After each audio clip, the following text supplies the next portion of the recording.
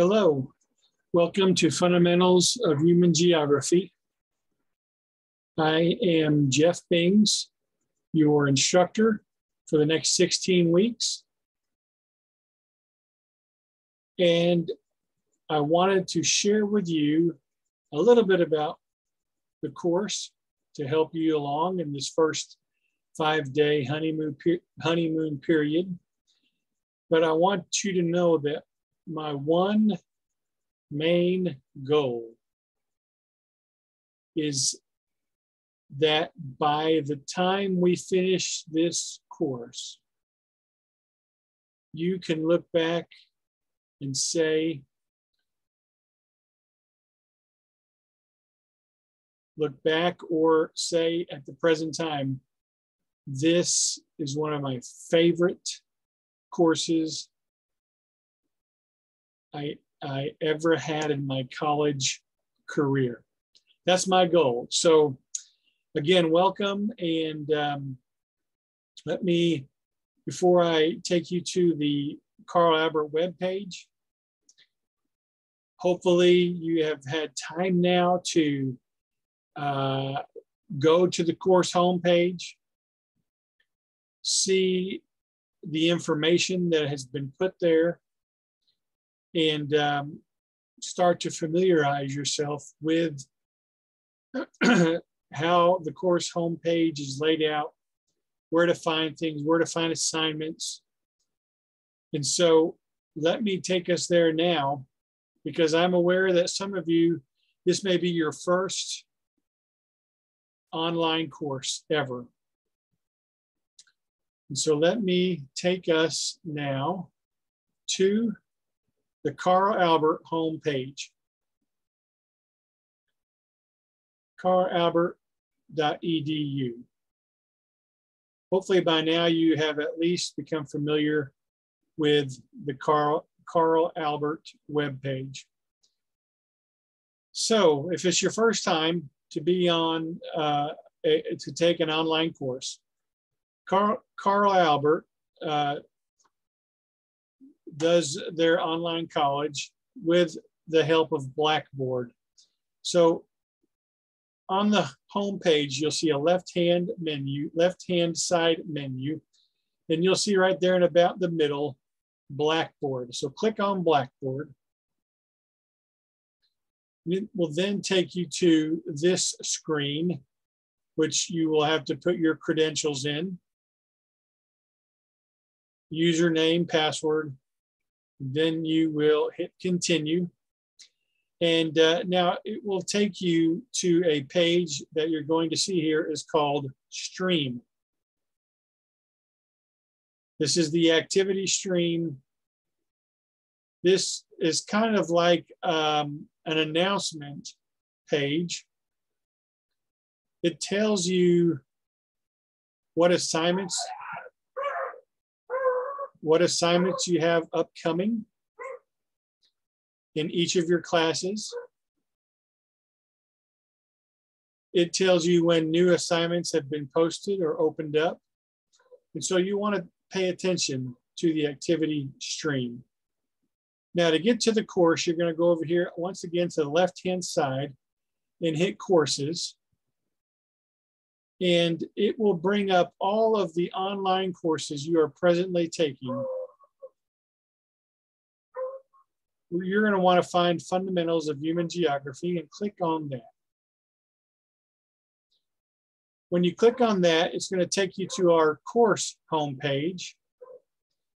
And once you're here, you will arrive at the welcome page. You'll see this big CASC online symbol. And I have designed it to where you'll see this big hello and start here image. Start here. Here is your welcome message from me to Fundamentals of Human Geography. Please read that and it will give you some more prompts of where to go. And I wanted to simply highlight that of major importance to check out is the I need help folder, start working folder, and the syllabus.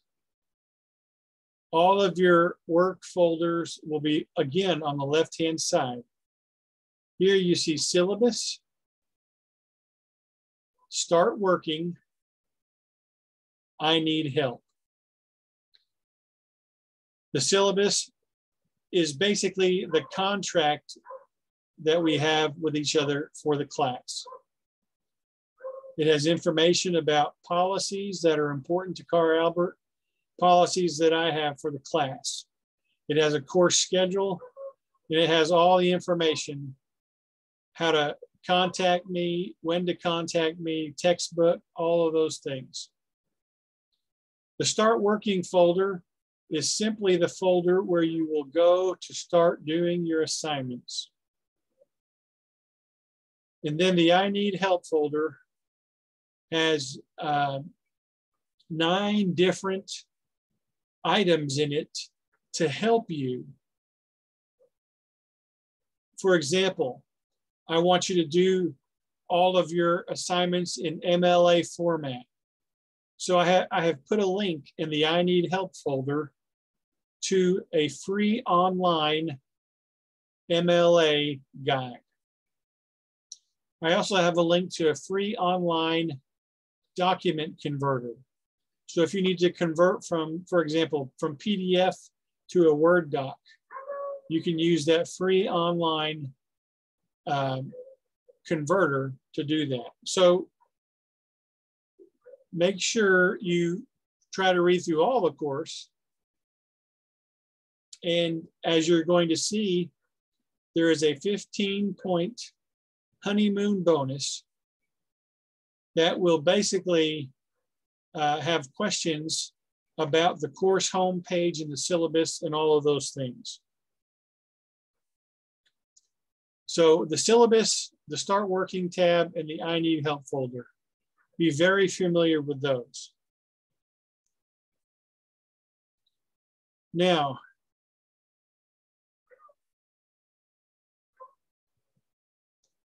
I, uh, this class is broken up into what we call modules. Think of a modular house.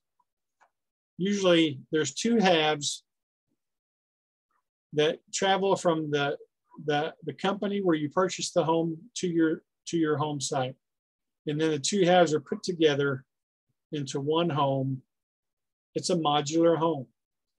Our class is going to be modular in that there's going to be four modules. There's 28 days in each module. And uh, each module will cover, for our textbook, it's very, very convenient, three chapters a module. But module one will not be available until Sunday night, August 21st. What I have provided is a five day honeymoon period in which you can familiarize yourself with the course, the materials, the assignments, the way it's set up, and all of those things. Now, there is a course calendar in your syllabus. So I'm going to open the syllabus. And the calendar is all the way at the bottom. For the schedule, scheduler calendar. You can see August 17th to the 21st, five day honeymoon period. Then on Monday, the 22nd, we will actually start module one. now, you will only have access to module one I will not open up module two until the night before it's scheduled. The assignments for each module are designed to where you can work at your own pace. So there will be four assignments in each module and then a test. And there's four different due dates for those four assignments. you have to turn them in, of course, by the due dates to get full credit. But you can work at your own pace so that if you're a overachiever, you're a you're a go-getter, you can turn in assignments early. Now, if you do not get an assignment in on time, you can still turn it in before the end of the module.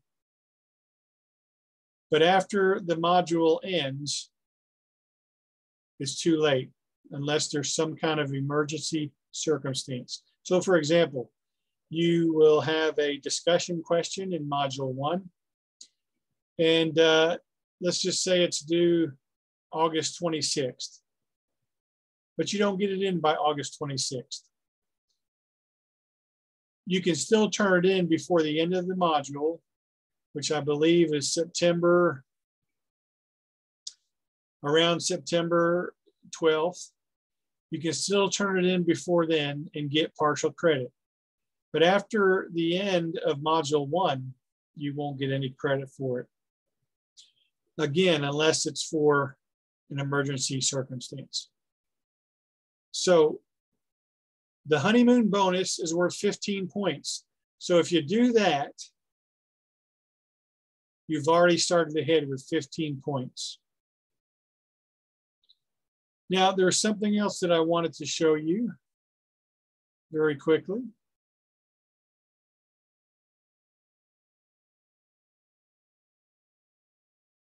I know that fundamentals of human geography doesn't sound like a thrilling class. For many of you, it might be a elective that you're just taking to get an elective out of the way. For some of you, you're like, what is fundamentals of human geography? Well, I'm sure you're familiar with the topic of just plain geography, things that deal with the types of elements and surfaces with the earth. You have mountains, valleys, plains, plateaus, rolling hills. You have deserts, tropical forests, lush timber lands, oceans, lakes and ponds. We have rivers and streams. Maybe if you're from the East Coast, you have a brook instead of a stream.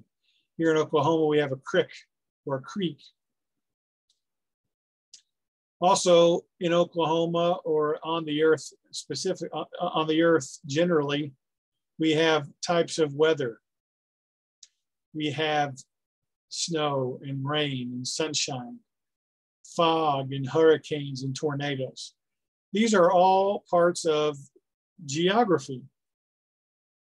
So with that in mind, human geography is basically looking at all of the elements in human life, human culture, or, or humanity. You have human geographies of urban setting, cities, rural settings, or the countryside. You have human geographies of culture, folk culture, popular culture. You have human geographies of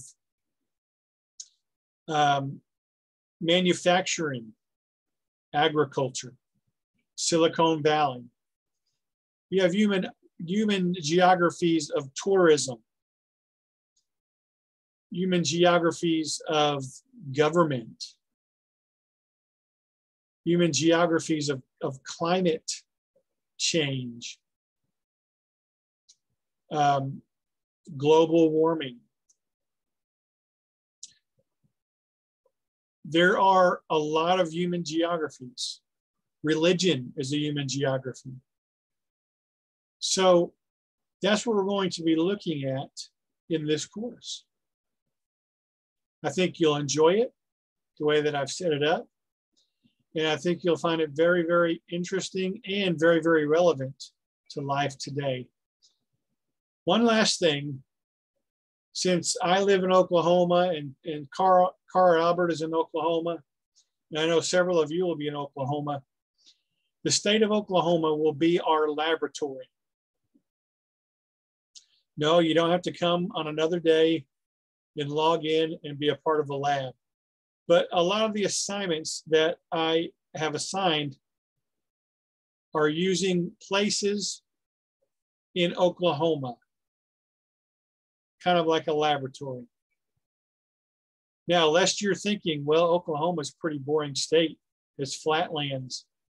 Of course, those of us here in Eastern Oklahoma know better than that. But maybe you're not from Oklahoma and you've always thought of Oklahoma as a flat land where Indians still roam the plains. But did you know, if, if you look on the screen here, Oklahoma is among the most geographically diverse states in the country. It is only one of it is one of only four states to have 10 distinct ecological regions. So in terms of regular Earth geography, Oklahoma is very diverse, but we are diverse in a lot of human geographies. Our history is filled with Native American people, Native American culture, um, African American culture, as well as European culture, European peoples. Um, we are also known for a lot of tourism. You're going to see that. So, uh, and there's many other things. Um, economic culture, we have natural gas and oil. Uh, so Oklahoma is a very diverse state. It's going to be a perfect, uh, perfect subject to use as a laboratory in our human geography class. So welcome once again to the class. Be very thorough in exploring the course website. Take advantage of that bonus and get those 15 points. And be, be uh, stay tuned for more of these video messages from me to help us along the, the way. I want to try to make it more personal than just rather than just being through a computer. One final thing I will say is I do have two office hours, Mondays from three to four. And of course you have to reach me through texting or phone call or email. But if you contact me from uh, on Monday from three to four, I will be online watching and will respond immediately. Also on Thursdays from 6 to 7 p.m., same way, except I'm going to be doing this right here, what we're doing, Zoom. So you can still email me or text me or call me, but you can also log in to my Zoom address and talk to me face to face. Thursdays, 6 to 7. And I'll be able to answer you immediately Otherwise, um, my responses to you will be within a few hours to several hours, maybe onto the next day. So have a great uh, honeymoon period preparing for the class. If you have any questions, again, email me, text me, call me, and I will see you at the next video.